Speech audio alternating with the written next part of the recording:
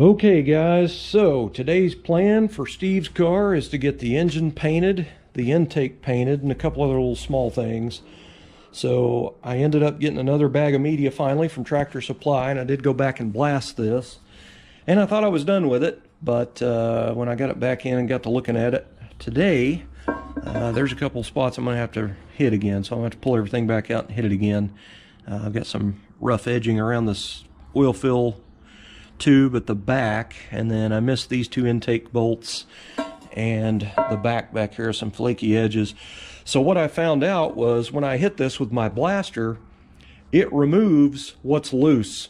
Uh, and I had no idea that all this was loose as bad. Pretty much almost all of the sides uh, on the that very flange edge right here on both sides it was literally blowing off in chunks little small chunks but Anyway, when the blaster gets to good coating that's actually stuck, it feather edges it. You can't even feel a transition. So I do need to do a little spot right there too. So anyway, I'm going to rehit this again. I did go over the whole intake and all it did was rough it up, but the coating stuck pretty good here. I really had to lay down on that Edelbrock logo to get that uh, down. The edge over here was what was coming loose, but I really bared down on that, and it took a little bit of time. But Anyway, I'm going to go back over this again, uh, get off all the loose stuff. I think what's stuck is probably going to stay stuck, uh, but anyway, that's the plan is, is to get that all finished out and then get these two painted and uh, prep out a couple other things, get them ready. And then it's going to be paint time. I'll be putting the copper pearl and the clear coat on it, uh, the body color. So what I ended up doing was uh, I went and got this at my local Dollar General store. This was 10 bucks. Well, let me rephrase that. If you guys have been following along on any of the Dollar General uh, stuff, uh, it says $10 on the sticker. Uh, it may have been more, I don't know.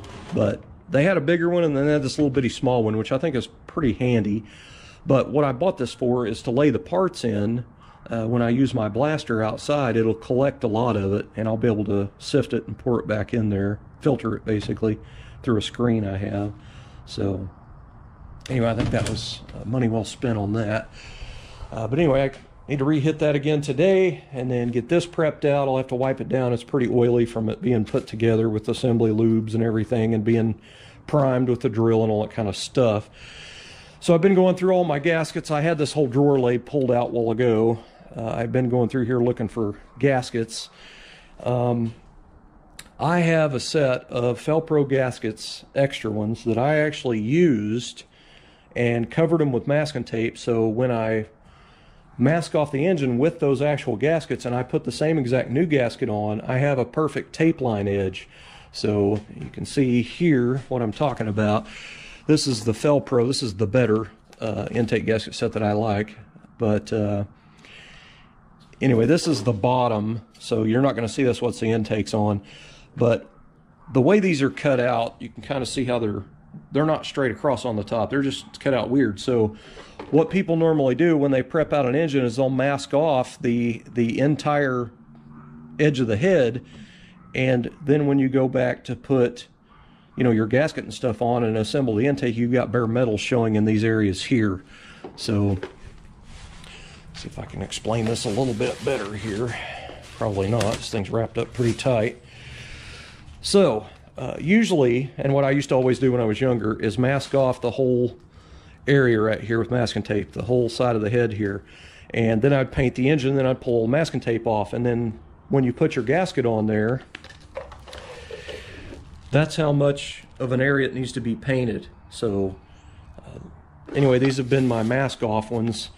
And uh, anyway, this is the better set, and I'm going to see if Steve can get me another a pair of these because this is the gaskets that came uh, from Jim when Jim bought the gasket set. Uh, these are kind of sticky, kind of weird, but anyway, the you can see from your uh, part in your head that would heat up your intake is open and Fel-Pro makes one. Of course, here's a Fel-Pro with it open like it's supposed to be. But they make one that has a two pieces of metal uh, spot welded together, and it's a block-off plate.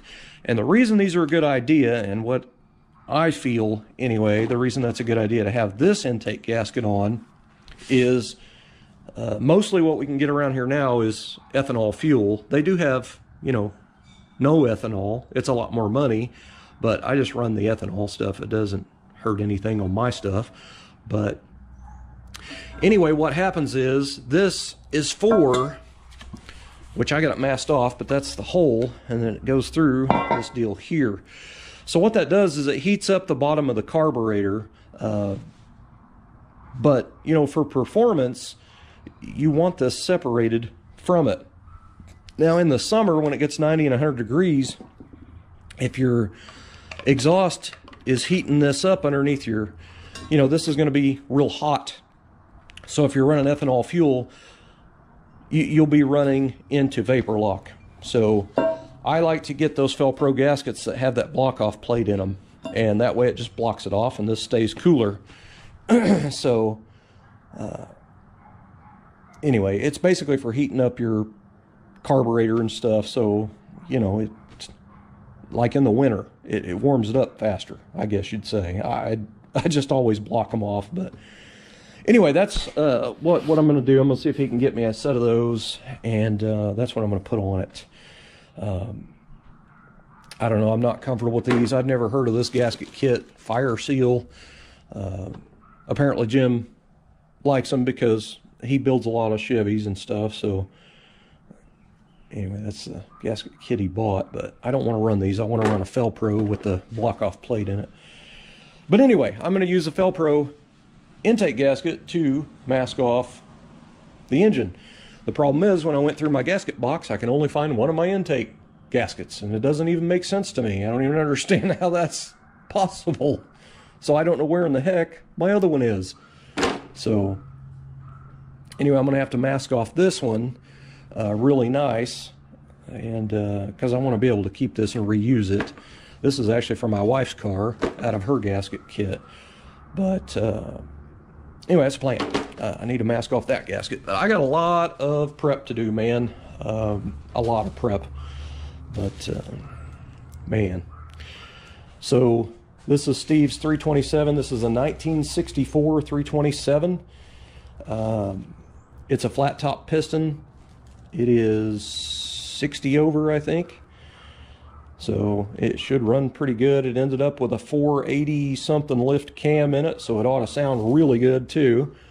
But anyway, the machine shop did all the machine work on the block and the heads. They rebuilt the cylinder heads, got new valve springs and everything, so that's really awesome.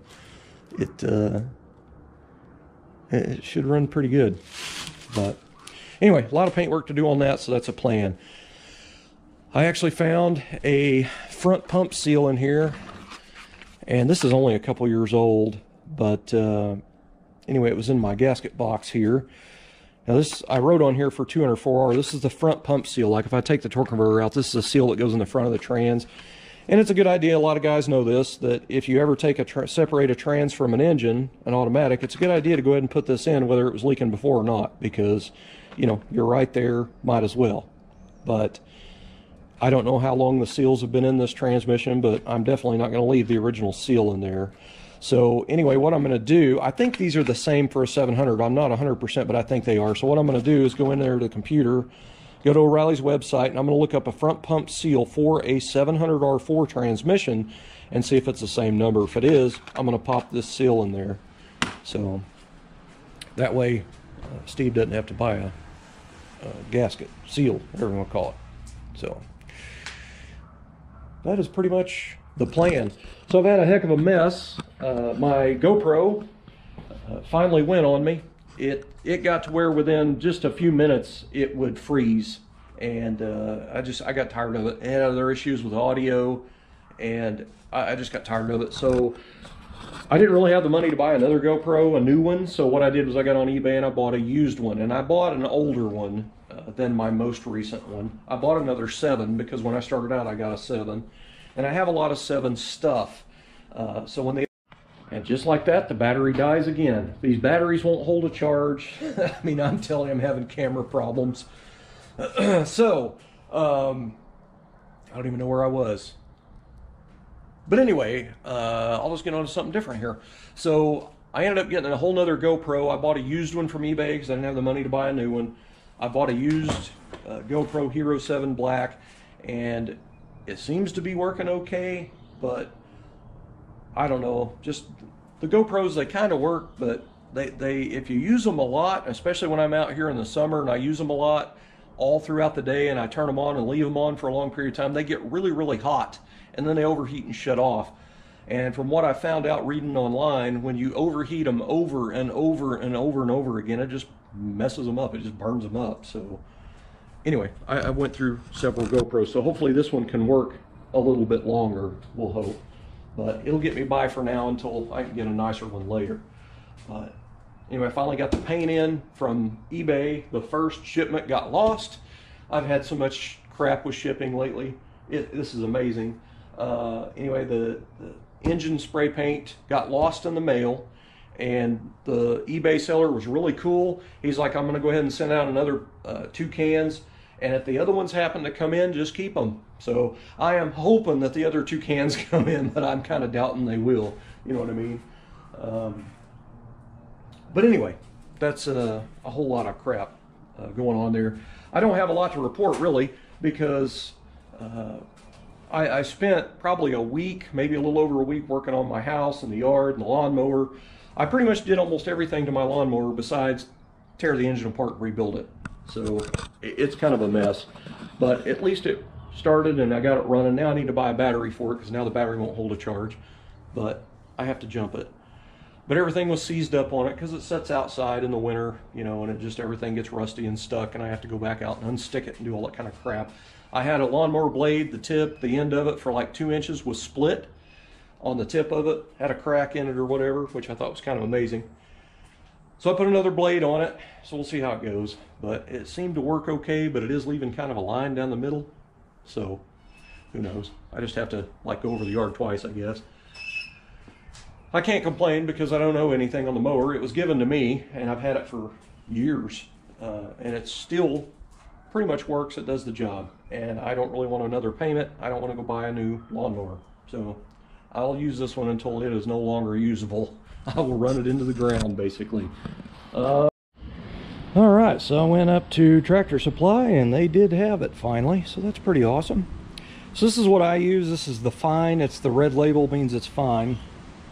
And uh, I have used a bunch of this stuff through this little pot blaster here, but I noticed something that uh, is out of the normal because I've used so much of it. You can see that looks kind of tan. So what they're doing is they're mixing fine sand with the coal slag now. Like a lot of companies, you know, they'll they're like getting chintzy with their product and still charging the same amount or more. You know what I mean? So just another bite in the butt by the economy, I guess. Man, this has been a rough one. Let me tell you, it takes a long time to prep an engine, when I do one anyway, because I like to get every nook and cranny and everything uh, to make sure the paint adheres properly. So in this case, uh, the the long block of the engine's assembled, meaning the heads are on it, you know, the timing cover, the oil pans on it. So usually when an engine builder puts an engine together, uh, you know, usually everything gets pretty oily and greasy from, you know, your fingers having assembly lube on them and that type of stuff, motor oil, whatever. Uh, anyway, so this is pretty oily. So I had to go in and I used this Prep-All, which I always refer to as wax and grease remover because it's pretty much the same thing. This is like 30 or 35 bucks a can. This was a brand new can and there's probably a quarter of it left. But uh, anyway, I went in and I used a brand new microfiber with and loaded it up with that. And then I sprayed the area that I was wiping and got a bunch of stuff off. Now, when I get to the head bolts, in this case, the head bolts are on it, obviously. So I just sit there and hose it around those head bolts, and that's to get, you know, any type of, in case he put lube under the, the heads. Uh, some ARP head bolts, you know, you have to, not, if not all of them, you have to put lube under the washer and the head and all that kind of stuff. So it usually, when you tighten them down, torque them down, it squishes oil out. Well, that's a nice tight little crevice down in there. So I just kind of really hose it all around those head bolts and let it just run out. And then I'll wipe the wipe it while it's still running down. but that ensures me that I've got all the oil out around that area. And I have to do it in a lot of these little tight areas, like underneath the edge of the head, front and back, because that's a tight little area right there. And I always do it around the timing cover edge right there. Now, when I paint a small block Chevy, uh, or just about any of the engines that I've been doing about the last 15 years, I like to paint them apart. Now, we didn't do that on this one, obviously, but I usually paint my cylinder heads separate, my block separate, my oil pan separate, my timing cover separate. That way when it's assembled, none of your bolts have paint on them. Uh, and you can see the gaskets in between. And to me, it's just a detail thing. It looks really nice. But in this case, uh, we had Jim assemble the engine, and this is what we did because I wanted to paint it. He offered to paint it, but I wanted it painted. Um, he didn't know we was going to do body color base coat clear coat. He thought he was just going to be spray painting it with engine paint and call it a day. So anyway, I red Scotch brighted it down. Uh, after I wax and grease removed the block and everything, I, I wax and grease removed the whole thing.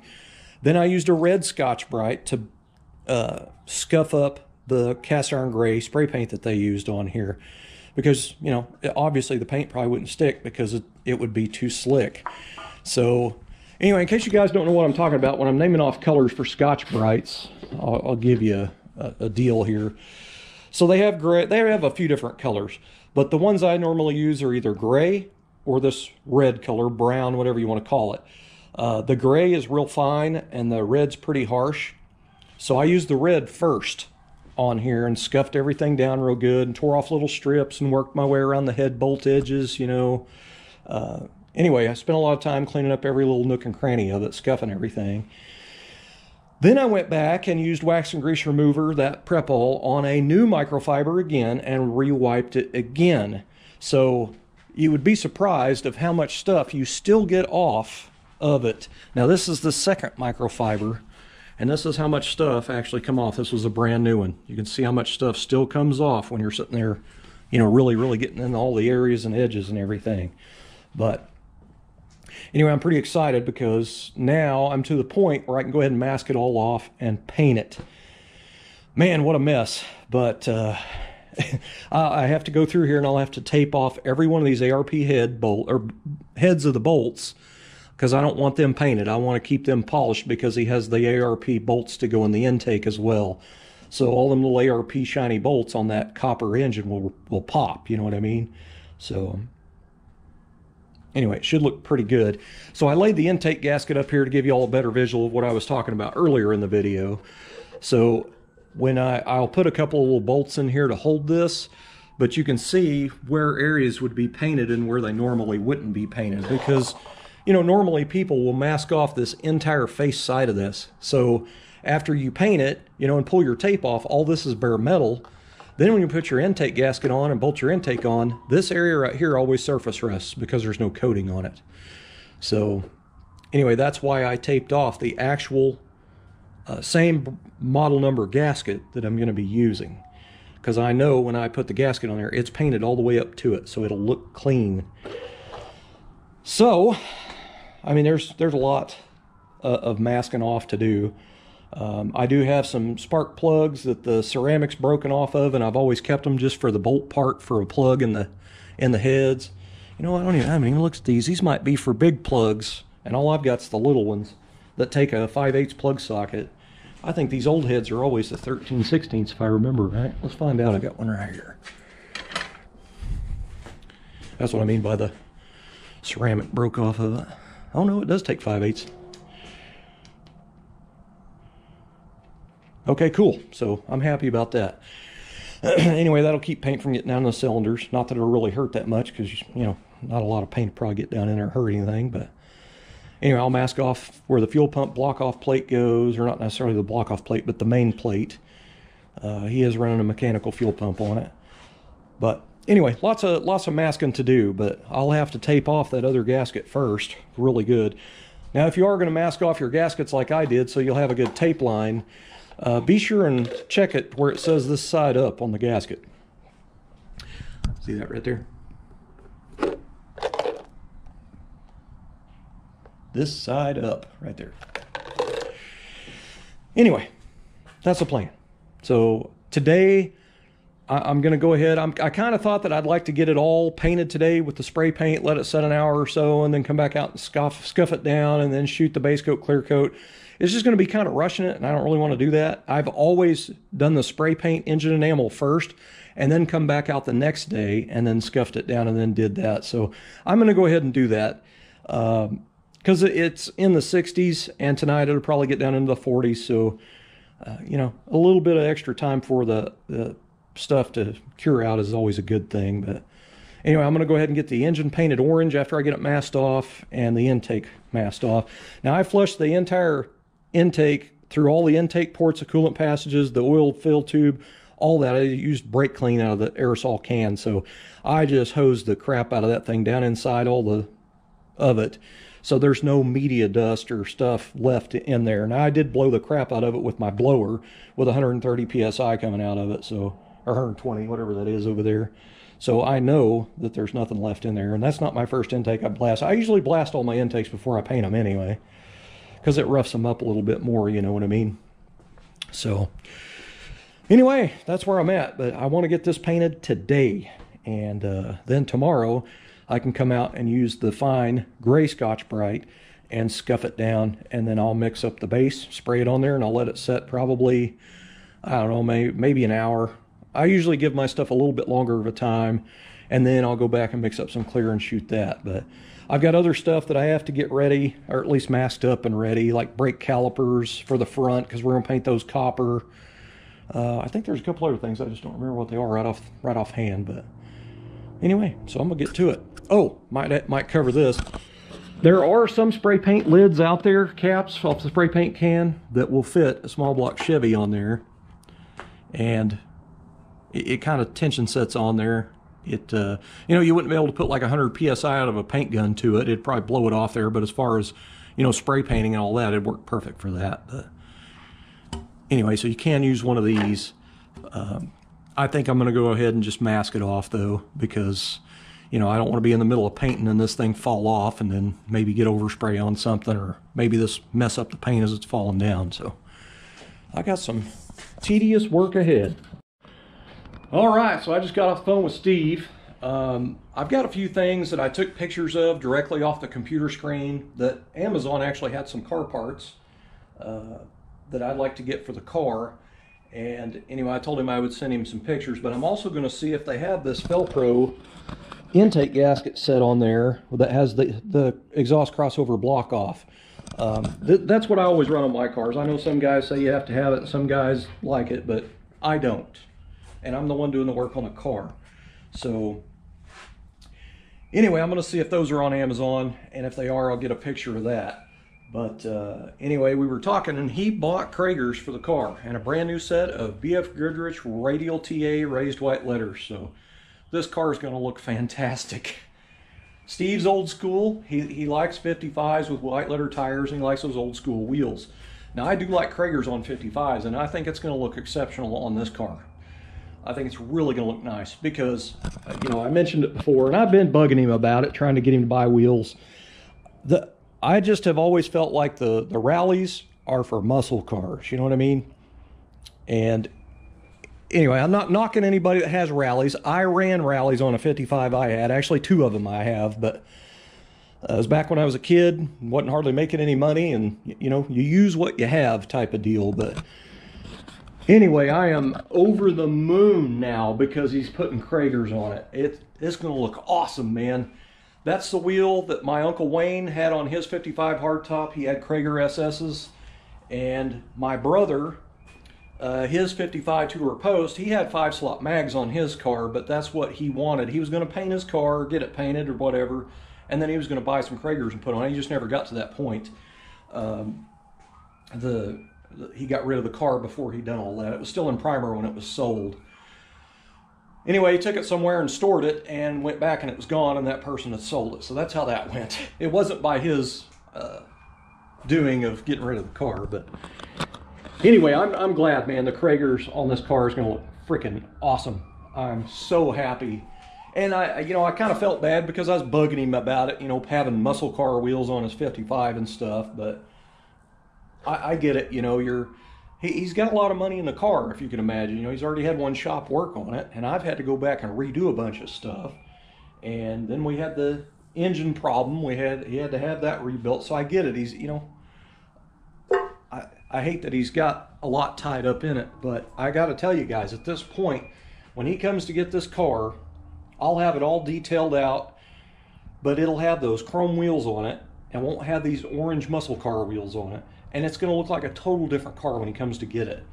And if he doesn't win a Best Engine Compartment award at some of them local shows around where he lives, I would be very, very surprised if it did not win a trophy. So, uh, anyway, I want to make sure the engine compartment is minty. to me, every time you drive one of your cars somewhere, it seems like everybody, want, even if you go to the gas station, there's always somebody wants to see under the hood. So I've always went out of my way to do underhood detail like crazy uh, because that is what impresses people. You know what I mean? And that's where the details really come in when you have like, you know, polished bolts and stuff like that. But, uh, and I know most of you guys have seen, but to me, engine compartments detailed, that is where it's at for me. This is what I, that's my favorite thing to do. If anybody has a, you know, car that they're they're driving and stuff and you live pretty close to Tulsa, Oklahoma, if you feel like you want some engine compartment detail work done, painting or whatever, uh, get a hold of me because that's what I love to do. Of course, I won't be able to do it right now because I'm working on Steve's car. But uh, anyway, where was I? I don't even know where to where to go from here, man. I'm just I'm happy. Steve got Cragars. He got Cragar SS's, and I've I learned something when I was looking online for the correct backspacing those wheels, they sell them in two styles. They sell them that take the shank style lug nuts, and then they sell them that take the conical seat lug nuts. So I told him to get the conical seat ones because this has chrome conical seat lug nuts on it already. So uh, I think they're 60 degree if I remember right. So that's, you know, he doesn't have to buy lug nuts because he's already got chrome lug nuts. And these are still in pretty decent shape that he had on the car because it had covers over it. You know what I mean? Uh, you know, center caps over the, the rallies. So I only have two lug nuts on each wheel, but he already has chrome lug nuts. So you don't have to spend another 30 bucks on lug nuts or 40 or whatever the heck it is nowadays for lug nuts. But man, I'm over the moon. Um, oh, it's going to look good. We decided, I don't know if I mentioned it in any of the videos, we put a stock height replacement leaf spring in the back but we went with lowering coils in the front. So it's going to have a little bit of rake in the front. It's going to be setting down in the front a little bit. So I be jacked up just a little bit in the back. I think it's going to look freaking primo, man. It's going to look awesome. now, me personally, I if I'm doing an older school style build, like I do plan on doing eventually, I like five slot mags, and I think it's because my brother's 55. Those five slots mean a lot to me, and they always look good on a 55 to me. Um, he also had a 69, I think it was Firebird, and it had a 400 in it, and it had five slot mags on it. And I loved those five slot mags back when I was a kid. He's uh, he's eight years older than I am, my brother. So, you know, I was a little kid when he was old enough to drive, but some of that stuff when you're a kid has a big impact on you. And 55 Chevys, that's why I like messing with them. That's my mom and dad restored one. My uncle Wayne had one. Uh, my brother had one. They're just ingrained in me. And to me, it's the most beautiful car in the world. It's just my opinion uh, because I grew up around them. and that's probably most likely what I'll, when I die, that's what I'll still have is my 55. You know what I mean? So, anyway, that is all. All right, guys, I never did find the other intake gasket that I had masked off. I don't have any idea what I did with it. This is an old used one. And anyway, I just covered it with masking tape. That way I have the line around it. So I ended up having to use a brand new one for my wife's gasket kit for her car, her 55. So I used aluminum foil on it. And I opened up a couple of holes to run some bolts in here. So if you're going to do this, the holes in these gaskets are rather large for a 3 8 bolt. So uh, anyway, when I put it on there, uh, I put it on where it's almost snug down and then I push the gasket down as far as it'll go on that hole. And then I kind of snug it down a little bit by hand. That way uh, you've got a little bit of wiggle room there. Now, when you put a bolt here and here, this top edge kind of pokes out just a little bit. So it's not completely smashed up against the head, but it'll be just fine. It'll give it a little bit of, of a, you know, it'll let the paint kind of get down in that edge a little bit. So anyway, now I've got a mask or uh, bolt this one on and some of my tape is all crunchy and hard, so I've got to replace an area of it here. But anyway, I'm gonna put that one on and then I'm gonna mask off the center. Then I got all this other masking to do. All right, I got the intake and the engine painted. So that turned out pretty good. There was quite a bit of paint on that intake. Uh, anyway, I think it'll look really nice. Um, then I just got done shooting the engine. So I got quite a bit of paint on this. It took both cans. It, uh, man, that stuff's pretty transparent. You put it on and then it, you can still see dark through it. So, yeah, it's got a lot of paint on it. It's uh, pretty much just a, a primer it is basically what I use it for because it is high heat. And that that Dupli-Color enamel, engine enamel, for me, it sticks to bare metal so well if the metal is prepped real good. Uh, I've never had a problem with that stuff. I've never primed an engine block. I just shot it with the, the color and uh, haven't had any trouble, but I do spend a lot of time on my prep work. And that may be why, you know what I mean? But it, uh, it's orange. This is the perfect, you know, base color for ground coat, I guess, for putting the base coat on. So I'm gonna go ahead and put it in the garage and then turn out the lights because the party's over for today because it's 5 p.m. And tomorrow morning I'll come out. I will Scotch-Brite this down with a gray Scotch-Brite and then blow it off, wipe it down with wax and grease remover again for like the 20th time. and then uh, hit it with a base coat. So pretty excited. But it'll get to set overnight to dry. All right, it's in the morning time now, so uh, this set overnight in the garage. Uh, the paint's, you know, it's cured out enough. It's spray paint. It usually dries pretty quick, but uh, now I'm going to go ahead and rough it up with a gray Scotch-Brite uh, so the base coat will stick a little bit. Uh, let's see, I'll be doing the intake as well, but I forgot these yesterday. Dang it. So these are the front brake calipers. Uh, so we're going to do the copper on those as well. So I uh, cleaned all the spray paint off of here with a wire wheel and the drill. And I removed the rubber inserts. It has four O-rings basically that go in here. Uh, so I removed those. It looked like one was still in there at that angle, but it's not.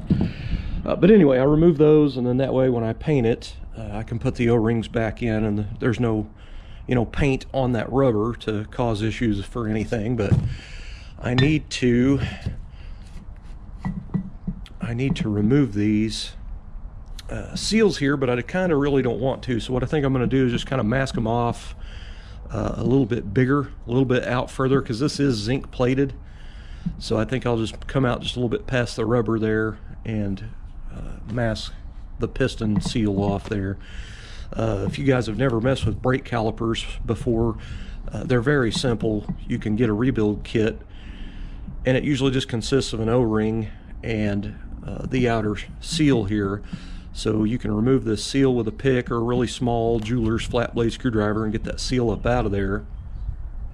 And then you can apply a little bit of air uh, through the bleeder hole or the input hole, it doesn't really matter and like put a rag over it, hold your hand over it pretty good, and then put air in there and it'll pop that piston out of there and you can pull it out and then you can clean that up. If it's super rusty crusty, it's probably not rebuildable, but that's as simple as it is to rebuild brake calipers. If the if the piston wall in there is really nice, it's kind of like an engine. If it's pretty good, you can just basically re-ring it, which is an O-ring. Uh, pretty simple deal, but I've got some little rubber caps that will fit down in here. It's actually ones that come in them brand new and I always save them. It's a rubber cap that fits in there, but it has an outer shoulder on it that comes out. So I'm gonna use those for a paint mask so it doesn't get paint up here where the brass uh, or the copper seal goes. So I've got my gray Scotch-Brites out here. These gray Scotch-Brites are always softer uh, than uh, the red or brown. I've heard people call them red or brown, but anyway, they look more like a purple to me. But anyway, these are coarse and these are fine. So if you're trying to rough something up pretty good for some paint, that works pretty good. But if you're roughing up spray paint, in this case, engine enamel on an engine, you want to use this because that will really dig that spray paint pretty bad. I got a little slide tray here and usually when I have a rubber cap or a vacuum cap or anything, I'll just throw it in here. There it is right there, I think. This is a little plug and it usually comes in the calipers and it has a wide top, but it fits in there. So this will, if I have two of them, that'd sure be nice.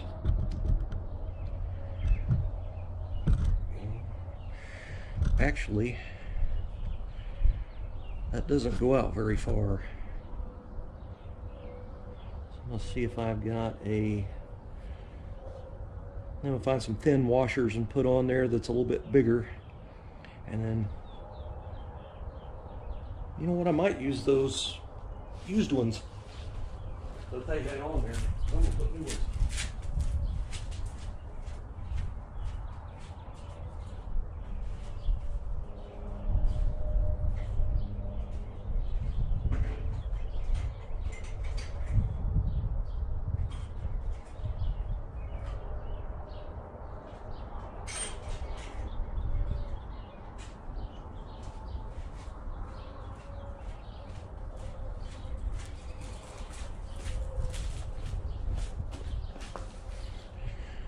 Well, this is what I'm thinking. This is two of the used ones that came in the on them. Unfortunately, they only had one on each brake line. You're supposed to have one on each side of the hose. So this is kind of what I'm thinking. Oh yeah, that works good, man. That's a paint mask right there. but there's one hole there and one of these. That does have a bleeder screw hole because I did take the bleeder screws out so they didn't get painted. I mean, they already painted them cast iron gray, but I don't like just going in and painting every single thing, you know. Let's see if these old vacuum capsule. Yeah, that kind of works.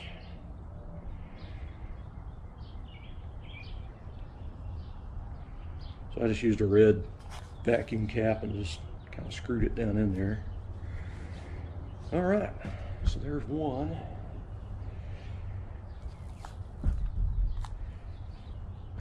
Hey, I found the other one. How cool is that? I can't beat that.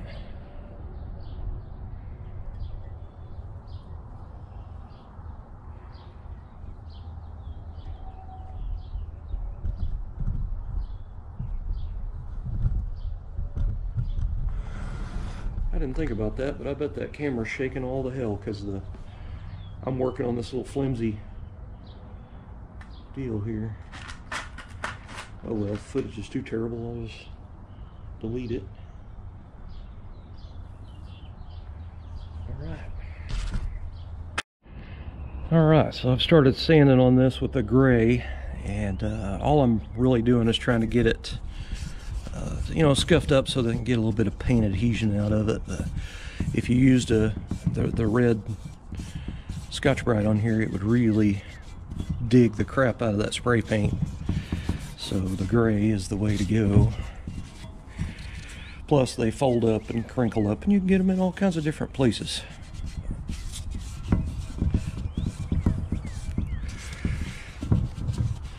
So the thing about the intake is it was, you know, smooth basically in Durashine. It's not a rough cast like most intakes are and so this is really going to be nice looking on top of that engine and that's the most uh, visible thing is you know all this up in here when the hood's up. So I think that's kind of nice that it's actually polished out like that. Well I got the everything's Scotch-Brited and then I went back and uh, blew everything off. Uh, I actually blew the driveway off and then blew all the parts off. So this is what I come up with to hang the calipers. I'm using a little mini touch-up gun, so it won't be too bad to get in there from the backside to paint that. but with just junk that I have here, it's about all I had to do. Um, got the intake propped up on a board, and that's so I can get a little bit of, make sure I get paint on the edge of that so that doesn't flake off. I want it to be under just a little bit. But it is, uh, it's getting close to lunchtime, and I think I'm gonna have to wait probably till my wife leaves from eating lunch here because when she gets here she's in that new car and I don't want to get overspray on it so I'll have to look at my clock in the house. I don't know what time it is but it feels like it's getting close to lunchtime. But I need to go in now and uh, tack rag it off and then it's pretty much ready to shoot so I unhooked my main air hose. This is the one that's always hooked up, so it's full of water and oil and crap from the compressor. Um, so I have this one here that I only use for painting. And I have a desiccant snake on here. And I've actually got another desiccant filter there and then a, one of those toilet paper style filters right there. This thing is pretty old and I've used it quite a bit, so it probably is time to change it. And I think those were around 20 bucks. This is a DeVilbiss brand, but it's called a desiccant snake it's full of the desiccant stuff. But for the garage painter at home, this is a necessity because you're going to have water in your lines because you don't have the proper, you know, paint booth set up, you know, with your air hose and water traps and all that kind of stuff. Water trap's supposed to be like 50 feet from the compressor. So when it gets real hot outside, uh, your compressor makes condensation or moisture, whatever you want to call it, it always works its way in the lines. And if it's an old compressor and it's pretty wore, you'll have a little bit of oil that gets through there as well. So I, that's why I have a separate hose for that. And this one's probably about time to change because I have painted quite a bit of stuff with this one. But anyway, what I usually do is when I do finally buy a new hose, I will use turn this one into my new main hose and then this one will get coiled up and put away for in case I need to hook a whole bunch of hoses together and stretch it out to the backyard for some reason like I have before. But anyway, useless information.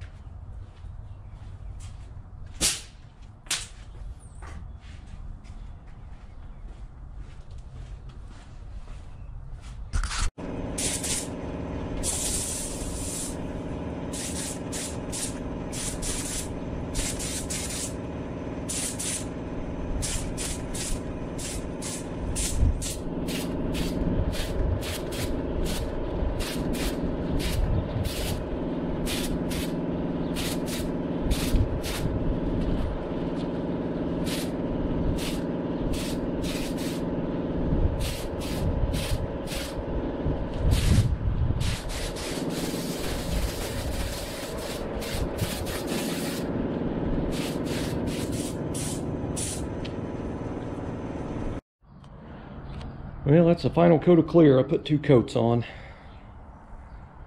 So, that'll work, man.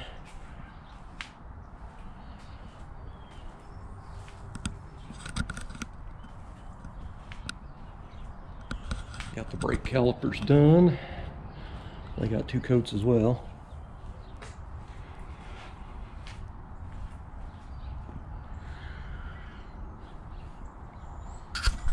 Here's intake.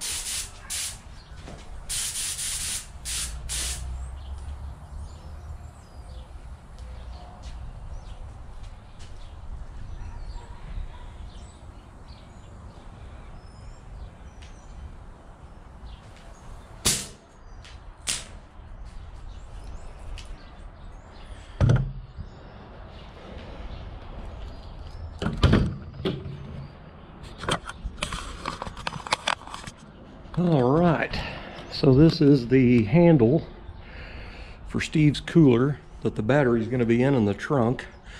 So this was zinc plated and it was kind of corroded and pretty rough looking. So I sanded it all down and uh, put some primer on it and then scuffed it.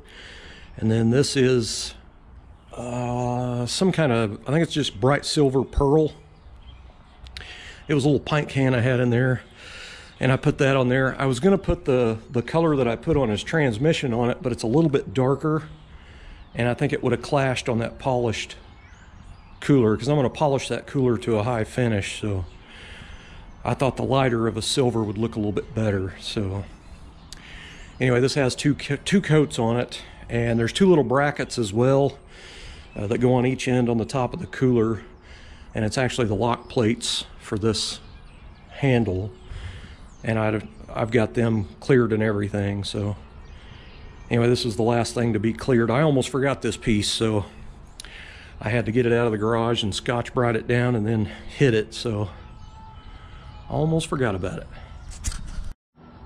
all right so when I hang things out here I've showed it before but anyway I've got wires that stay connected to my carport and they, they have little loops in them. And then when I'm done using them, I just kind of fold them up right a little bit. That way they don't hit the roof of the car. But I use a secondary piece of wire through this. And then that way when I'm done painting, I can move it.